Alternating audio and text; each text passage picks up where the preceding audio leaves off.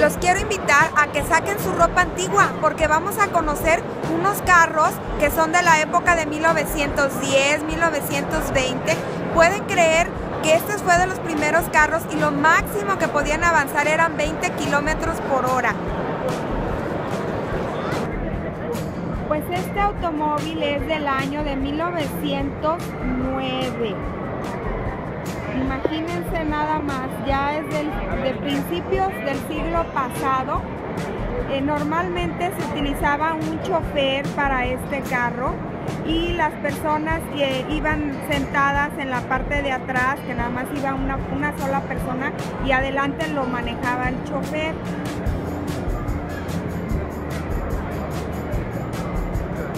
Esta es la parte trasera del, automóvil y la capota se puede desmontar. Entonces en épocas de verano normalmente lo quitaban y podían disfrutar de los rayos del sol.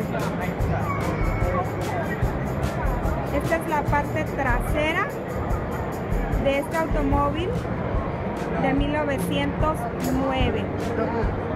Y aquí a un lado está este otro automóvil, ya es para más pasajeros, pero también utilizaban un chofer para poderse transportar.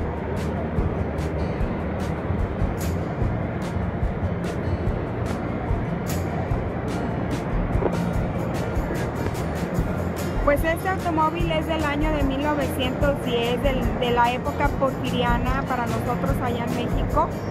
Ya es un auto que, en, el cual podían caber eh, más pasajeros, pero de igual manera era transportado por un chofer. Era muy raro que, pues, que el dueño del auto lo manejara por sí mismo, era, era muy usual que tuvieran una persona que lo manejara, un chofer.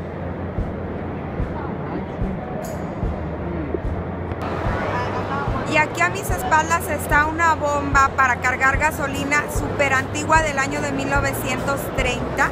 Y este automóvil que también es de esa época de 1930, en ese año nada más se construyeron 400 coches. Por ese, por ese año nada más existen en el mundo esa cantidad de carros.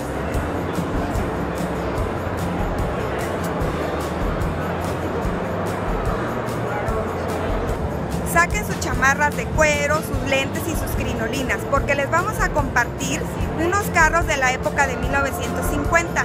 Aquí a mis espaldas está un Ford y en aquellos años pues se disfrutaba mucho de la música del rock and roll. ¿Quién no disfrutó de esa película tan querida como la de Vaselina?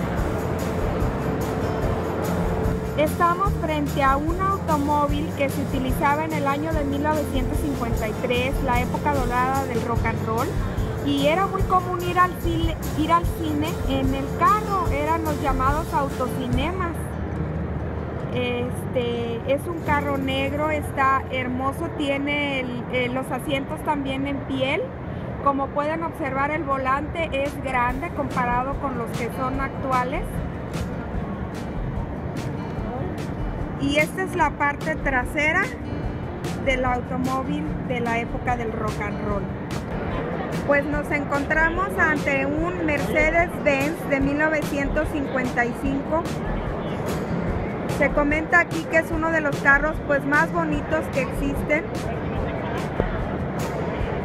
Y eh, este carro, a pesar de que es de esa época, está completamente en buen uso, se puede manejar, se funciona eh, de manera correcta en toda su totalidad les parece este carro Lincoln del año de 1987?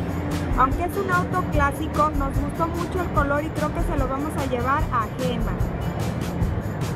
Nos encontramos ante un carro ya actual, estamos hablando del año 2009, este es un Ferrari y es el carro que le escogimos a nuestra querida Adriana Guajardo. ¿Qué les parece? ¿Sí o no se va a ver guapísima en él? Otro Camaro 2010, realmente creo que es el que le vamos a llevar a Felipe, se va a ver muy bien en él. Como podemos observar las puertas se abren hacia arriba, es un color naranja eh, intenso y es para cuatro personas. Ah, en el interior trae los asientos de piel. no nada más Batman tiene su carro, también Superman. Miren ustedes, en, el, en la parte delantera de este Camaro 2012 se encuentra estampado Superman.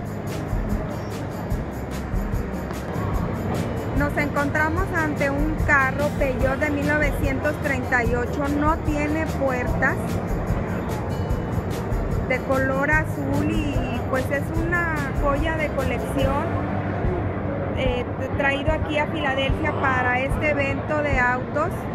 Son 700 autos los que trajeron y cada año se organiza este evento y mucha gente acude pues para apreciar estos carros que no comúnmente se ven en la calle de manera cotidiana.